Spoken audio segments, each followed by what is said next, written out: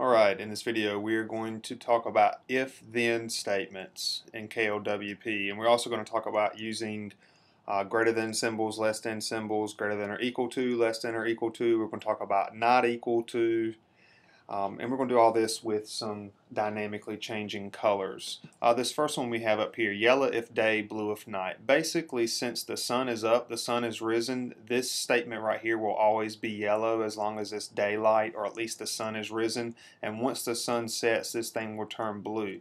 Now, I can't show you that right now because I'm in the middle of the day, and if I try to, you know, go to my settings and change my time, um, this program that I'm showing you the cell phone on acts crazy and it just cuts off. So I don't feel like doing that. But I promise you, once this goes tonight, uh, this whole thing up here turns blue. Now, I'll show you that one first. So I'm going to go into KLWP, not my camera. Alright. And here is that one right here. So there's text. The code for the actual, there's no code there. I'm just saying yellow if day, blue if night. This is for demonstration purposes. However, for paint, notice I do have a code right there. Now let me explain. Some of you probably know, know how to do a basic if-then. Um, I still want to uh, come over here and show you how it works because some of these are going to get a little bit more advanced. Now, things to take note of. Dollar symbols at both ends of my code um, parentheses have to line up. Like this one here matches up with this one way over here. Uh, these two pair up. These two right here pair up. And then these two right here pair up. So you have to have the same number of parentheses. Now this right here is our original statement. So if AI is day equals 1. In, I've talked about this in other videos. Basically this is saying if, it's day, if daylight is equal to 1 when daylight is equal to 1, that means that the sun has risen and it's daytime. If this was 0, it would be nighttime. However, what I'm telling, here's the statement. If the daylight is equal to 1, basically, if it is daylight, I want to have a color of yellow. If it's not, I want to have a color of blue. And you have to separate each little piece here. See these commas? It's important that you put those there as well. So let's think about it. If then statements, you want to say if, use your parentheses correctly, and you have some statement. Now, this statement will not change.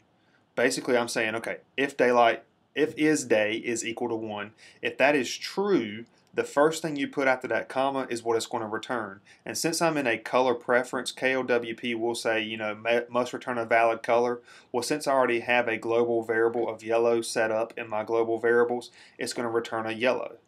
If it's false, after you put that comma, you want to put what you want it to do. If this statement here is false, you want it to return this. That's a basic if-then statement. Now, what I should show you too, let me back up. I'm going over to my globals. As you can see, I do have several globals down here. I have a yellow and I have a blue. Now I could easily go back into here. Um, I'm going against what the sentence says yellow if day, blue if night. But if I just come in here and swap these, if I say, okay, I'll, if it is 1, I want to return a GV blue. If it's not 1, I want to return a GV yellow. What that's going to do there is it's going to change. See, notice how that changed up there. But obviously, you know, just talking for sake of day, I mean, you probably want a yellow or a bright color. Um, you could even, you don't have to do this for is day. That you know that code right there is day. You could say um, if if the whatever the forecast, you could bring in other statements. You don't have to use is day. You could talk about a forecast.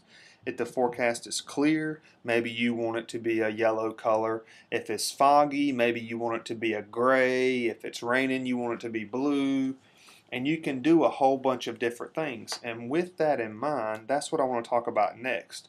You can have multiple things going on inside of an if-then statement. Um, okay, I have a component here. It's my cell phone signal. I've done a video on this, but I've done it slightly different for the sake of this video. I have two globals inside of my component, basically a green if I have a signal and a red if I don't have a signal. Now let me copy this code over. So I'm going to go to the code, and the code for this one, since I'm doing a progress bar, is going to be um, the actual bars themselves. So let me copy this. And let me see if I can make this small enough to where you can see the whole thing, but yet still see it. Um, make sure you're watching in HD. Now notice a lot of parentheses and all that stuff. So we have a statement right here. If the signal is equal to zero or, notice that straight bar, that straight bar, or if the signal is equal to 5, I want to return a value of 99.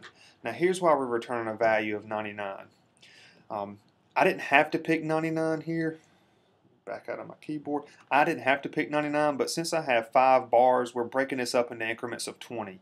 From 0 to 20, um, it will be one bar. From 21 to 40, it will be two bars. From 41 to 60, three bars. From 61 to 80, four bars from 81 to 100, it will be 5 bars. I picked 99 because that's somewhere between 81 and 100. Um, but that's full. Now I'll talk about why I want my service to be 0 or 5 and I want all bars to be full in a second. The important thing to note here is combining statements with the OR. So if the signal service is 0 or 5, I want full bars. If it's not true, I want to do another if statement. Well, if the cell service is 1, I want to return a 1. A 1 is going to fill up just one bar. Well, what if that's not true? Well, if the cell service is 2, I want to return a 21. 21 will fill up 2 bars. Well, what if that's not true? Notice these commas. I'm putting commas. If this, then this is what I want to happen. If that's not true, well, I want to do another if statement. And I call this like nesting ifs. I think you, that word's used for Excel, but we're nesting a lot of if statements. Look at all these if statements we have nested in here. And basically, I'm covering all my grounds for cell phone service. Cell phone service goes from 0 to 5, I think, for KLWP. So notice I have something for 0 and 5. I want to return a 99. Well, if that's not true, what if it's 1? I want to return a 1, which fills up 1 bar. Well, what if that's not true? What if it's 2? I want to return a 21, which will fill up 2 bars. Well, what if that's not true? What if the cell service is 3? I want to return a 41. 41 is going to fill up that third bar. Well, what if that's not true? What if the service is 4? If it's 4, I want to return a 61. That will fill up 4 bars. Now, you may be wondering, okay, why in the world are you going to do full service on a 0 when you have 0 service? Well, here's another if-then statement. Let me go to color and check out what I have for my color. It's another if-then statement. If the service is zero, I want the color of my bars to be red. If that, if the service is not zero, I want them to be green. Notice my if. If this statement is true, it'll return this. If it's false, it'll return this. So since my cell service is not zero, I'm getting green bars. So that's what's going to distinguish between no service and full service. No service will give me full bars, but those bars will be red. Whereas if I have a cell service of 5, it will be full bars, but they will be green because I'm using another if-then statement in my color. Um, a lot of, I mean, it's definitely some critical thinking going on here to get this to work right, but let me show you what happens. I'm going to knock my cell service to zero, and in order to do that, I'm going to put my phone in airplane mode. So when I go into airplane mode, it's going to say the cell service is zero. So it can be this or this. only one of these have to be true to return a full bar signal, so to speak, or to return full bars colored. Either this one or this one. That's an OR statement. Only one of those have to be true. Well, watch what happens. I'm going to have full bars, but remember my color? My color should be red. Bam, there you go. Full bars because of that code. And then I said in my color code, remember that? In my color code, I said if the signal's zero, make it red. If it's not zero, make it green. Well, it is uh, red because the signal is zero because I have the phone in airplane mode. So if I cut airplane mode off, I don't know if the advanced editor is going to adjust it on the fly. Let's see if it did. Well, it still shows red here in advanced editor, but I guarantee you if I save this, go back to my home screen, bam, it's back green because my service is not zero. And now, last but not least, for if-then statements. Let's get into some greater than, less than stuff. All right, back to my home screen. Now, what I've done here with this, okay, this zero, is, okay, I should show you. I have a text global variable. Now, I'm just doing this to simulate different things that can change. I'm going to simulate it myself. So right now I have a text global variable. I got it called n, and right now it's got a value of 0. That 0 here is going to change. Now that's not that's not a, a if-then statement though. Basically this piece of text that I have here, whatever my global variable, whatever my text global variable n is equal to, it's going to show it. So it could be 0, and now I'm going to show you what else happens. And then I'm going to talk about the if-then. So let me go ahead and save this. I also have these arrows set up. That is a if-then statement, but watch. Okay, one, two, three, four. Whoops, didn't, didn't mean to do that. Okay, three, four, five, six. Notice it's changing colors. Seven, it changed again. Eight, nine, ten, and it goes back to zero. And I can go backwards this way. So there's a couple of if-then statements going on. Basically, I have some if-then statements going on with these little buttons, and then I have if-then statements going on to change the color of this number right here. So let me show you the buttons first.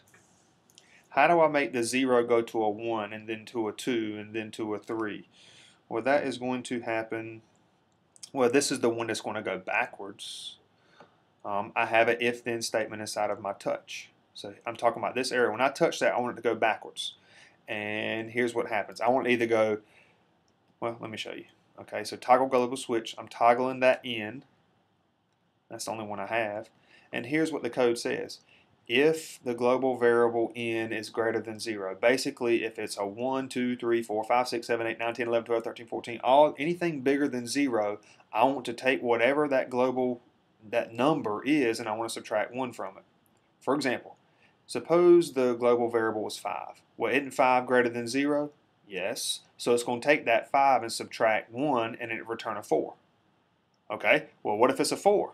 Well, we subtract 1 from it, it returns a 3. What if it's 3? Subtracts 1 from it, returns a 2. And so forth. Now, what if it's not bigger than 0? If it's not bigger than 0, such as 0, it's going to return a 10. And basically what that's allowing me to do is allowing me to tap this button here as many times as I want, and it'll count down by 1. It'll go 10, 9, 8, 7, 6, 5, 4, 3, 2, 1, 0, and then it'll start back at 10. That's what that if-then statement right there will do? Well, you may have guessed it. For the other one, this one right here, it works very similar,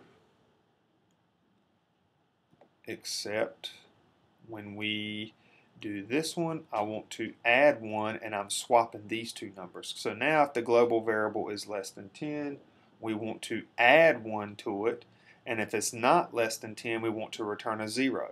Here's what this will do when we touch.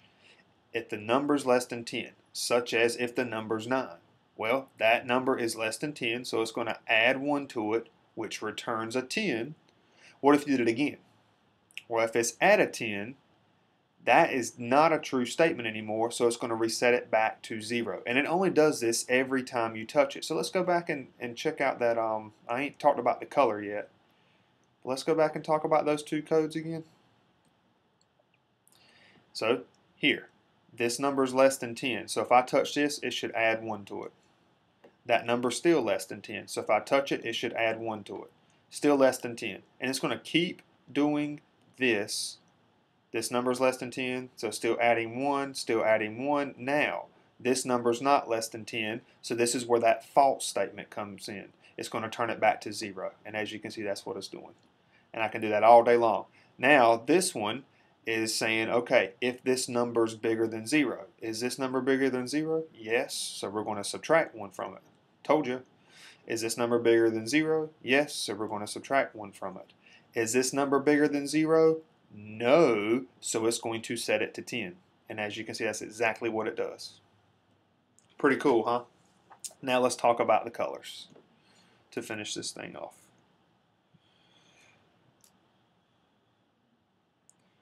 Alright, so going to, not there, uh, going to this text, the zero, how is it changing colors and what's making it do that?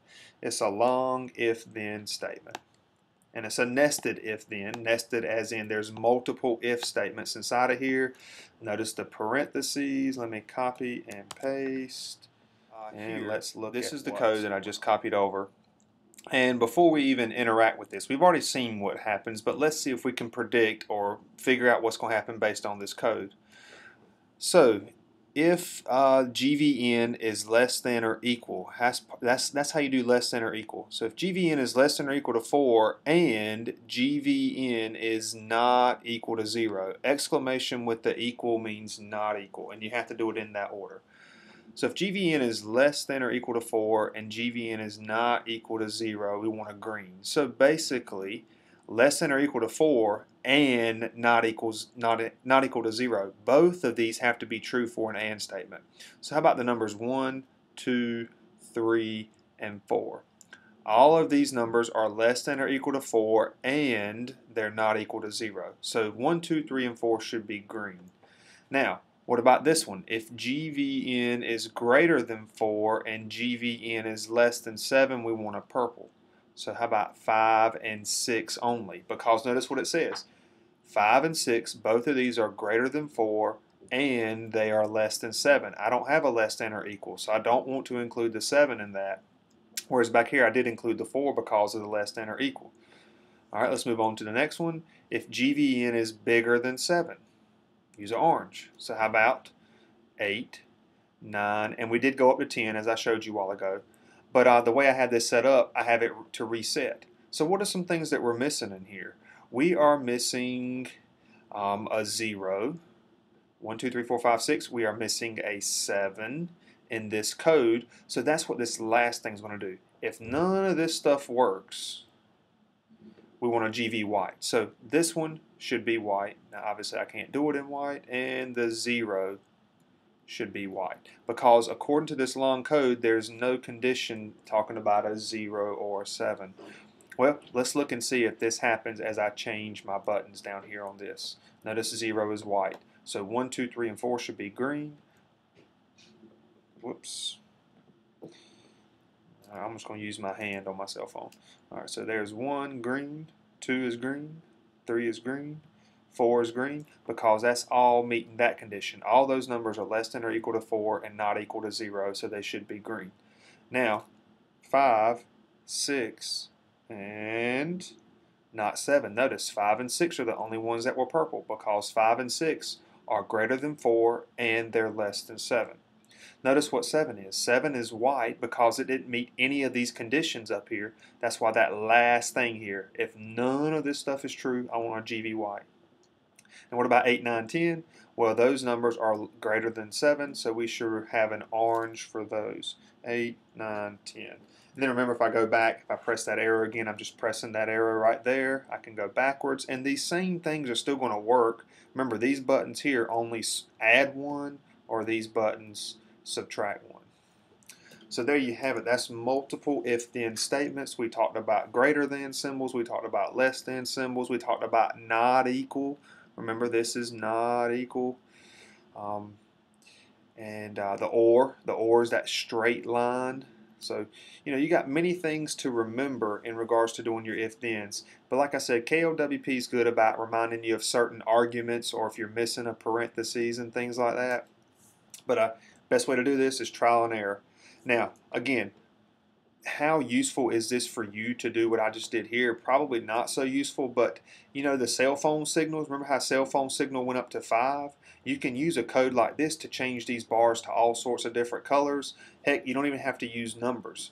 Um, you could do it based on the time of day. You could do it based on the temperature outside. You could do these if-then statements based on the condition, whether it be cloudy, clear, rain, fog, um, pretty much anything, anything in KLWP, you probably can apply some type of if-then statement to it.